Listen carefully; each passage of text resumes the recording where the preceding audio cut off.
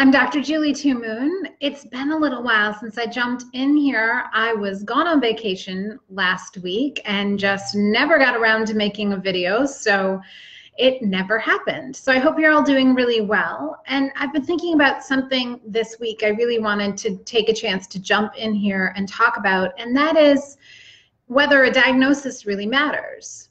Now, I've been in medicine a long time, and certainly we're taught to diagnose, and we're taught to look for the parameters of various conditions or diseases or problems that people are experiencing. But the longer I'm in healing, the more I get the feeling that for many people, a diagnosis slows them down. Now, let me explain. So, let's take hormonal problems fatigue and pain, of which very often people present with one or all of the following, you know, especially Hashimoto's, chronic fatigue, or fibromyalgia. And any number, there could be many other conditions in there, you know, chronic migraines and all kinds of other things, early onset diabetes or pre-diabetes. But regardless, I find that some things, especially things like Hashimoto's, fibro, and chronic fatigue syndrome, all carry with them a personality. And the thing is, is that if someone suggests that you have those conditions, we're all intelligent. So, of course, we go start researching. And the internet is full of a whole lot of information. Some of it's very good, and some of it is god awful. But there's also a lot of fear out there because it is a forum where people get to present their worst case scenarios. And many, many, many people do. Now, I'm not saying that everything out there is misleading, but here's what I am saying things like Hashimoto's kind of have this moniker about them. You'll never heal it, you can just hope to control it. Something I don't personally believe in. I do believe that that, like many other health conditions, is totally solvable. I don't ever use the word cure, it has a weird connotation to it, but I do believe you can solve the problem curing it is all about the disease, right? And what are diseases? They're just conglomerations of symptoms. That's all it is. It's a group of symptoms that they, a bunch of people agreed, oh, we're going to call that this because of, usually it's a doctor that discovered it, named it, etc. The fact is, is if we go back to our true understanding, they really are groups of symptoms and sometimes lab results. And if we rely on that and what the conventional medical model says about it, and sometimes even the naturopathic model, then we get to the impression that, like, oh, shoot, I'm saddled with this forever. Now, if we look from the perspective of many other medicine traditions, we discover that any condition can have a multitude of reasons why it presents in an individual. It's not all the same. It's only the Western medicine model that says, oh, it's all the same. All the people with this condition have these parameters, and that's it. We just treat according to, you know, X, Y, and Z. But Chinese medicine, Ayurvedic medicine, they would all say, well, I could see someone with the same symptoms as Hashimoto's, for example, and they could have the potential of a multitude of different patterns. And so if I treat according to a one size fits all, you know, process, I'm going to hit the target 25% of the time, maybe. And the rest of the time, the results are going to be lacking and this is what I've seen because I've seen so many people come through my practice and so many people in my online program that have things like Hashimoto's and chronic fatigue, and there's a multitude of reasons why they have it. I think a diagnosis tends to hold people back because when I speak to these people, they, you know, it's always with that lamenting, like, oh, if it just weren't for this Hashimoto's, if it weren't for this chronic fatigue, I would be living my life. And they've often been doing a lot of the things that docs tend to recommend.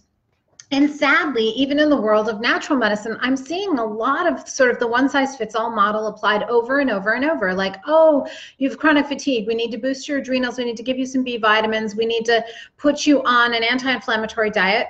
Those are all reasonable, but they're not getting to the root and they're certainly not specific to that person. And a lot of times they make temporary improvement, but not totality. Now, there are, like I said, the personalities that go with all of these conditions. And what I find is that our beliefs, because they're real things, they tend to set in motion a whole cascade of events. And sometimes you can't unwind that. That those beliefs can stand in the way of healing more than physical issues can. Your beliefs are real, tangible things. Think of them as molecules. Every time you have a staunch belief set up in your system, you've generated new molecules. And now those molecules are circulating through their through your body and they're creating new conditions, new symptoms, new outcomes. And if you don't know how to change those beliefs in the midst of healing the physicality, you are going to stay stuck. And most healing is focused on let me change your physicality and they don't even know where they're looking because they're using a one size fits all approach, but they're not even touching on the belief side of it. So I want to pose the question to you What if a diagnosis that you have is actually a moot point? What if it doesn't matter? What if the diagnosis is actually more of a distraction?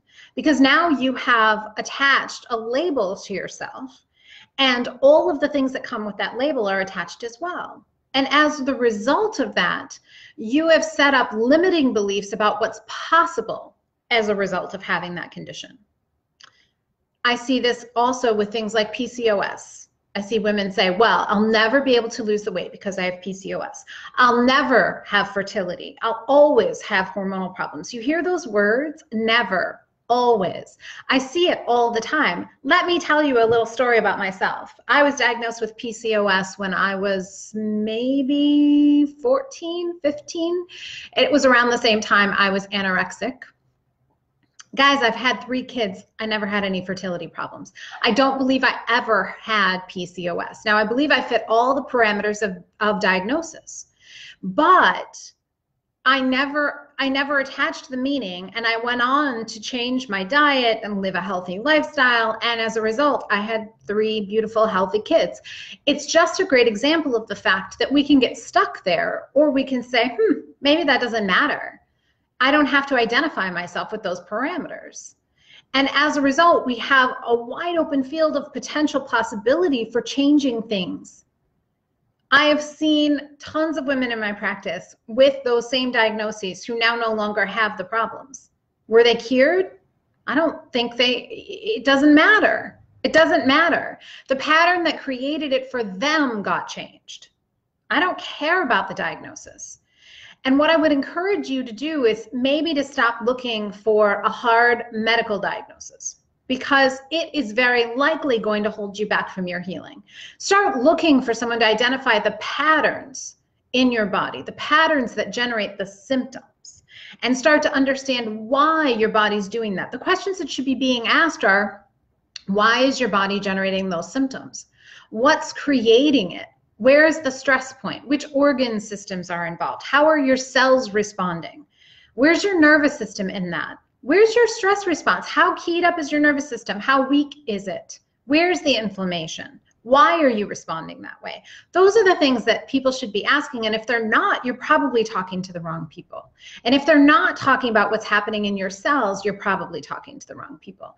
Because it is inherently essential that we ignore the diagnoses for the most part. Now, mind you, this is not medical advice. I'm not telling you to go home today, stop taking all your meds, and ignore the diagnoses. Not at all because in my practice, the way that I operate, I don't ignore the symptoms. See, those are symptoms, and often they've given you medications, and mind you, stopping medication outright can often cause its own hazards. I don't ignore those things, I dive deeper than them. And I set in motion a plan that is more sophisticated in dealing with the actual problem than the surface one that ju- thus generated the diagnosis. So, what if we moved past that point? Now, I wish medicine was was on board with that process, and I know practitioners who are, and they're also getting amazing results. But I know that a lot of medicine, and I hate to say this, but especially functional medicine, is chasing down values on labs and then throwing supplements at it and calling it good. And then they're chasing down more values on labs and throwing more supplements at it. And they love the diagnosis because all their protocols are built around the diagnosis. And it's inefficient medicine and it costs us huge amounts of money and it wastes our time. So if you want the real freedom, if you want the vitality, if you want like the, the goddess essence inside of you to bubble up and move forward, then I encourage you to start to think outside that box. I encourage you to understand that the belief that you can't move past a certain diagnosis is actually just a belief, and beliefs are changeable. And I encourage you to think about stepping into your power and looking for a solution that lets you not have to have that as your forever moniker. That you don't have to wear the badge anymore. Oh, I have this and I have that. Because it is a limiting prospect. So hopefully this incites some thought. Definitely comment below if you're having questions or to your insights, because the reality is, especially in women over 40, we don't have time to waste messing around with trying this, trying that, and letting a diagnosis define who we are. And granted, all of those diagnoses produce horrific symptoms in some people and really alter our lives. So, how much of our life are we going to waste on ineffective protocols? And how much of our life are we going to recapture so that we can live in our beautiful, big, vibrant self? All right, guys. Listen, I wish you many blessings. Reach out if you want to talk more about this or anything else. And I hope you have a beautiful Friday. Take care.